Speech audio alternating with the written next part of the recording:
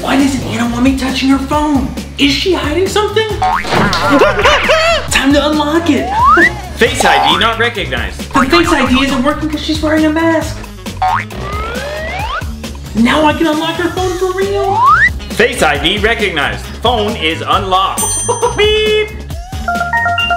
One new message from Jenny. Anna, does your dad know you got six Fs this semester?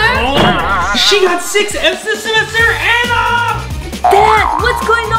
Don't you even try lying to me. I heard from Ginny that you failed this semester. How did you unlock my